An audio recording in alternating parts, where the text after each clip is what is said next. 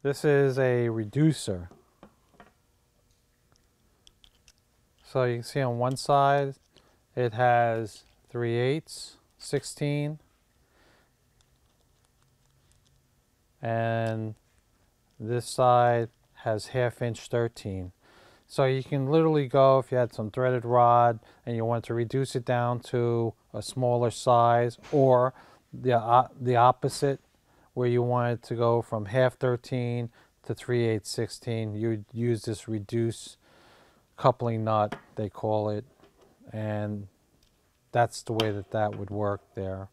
And this is a standard coupling nut um, they come in various sizes and lengths different um, thread pitches fine coarse thread.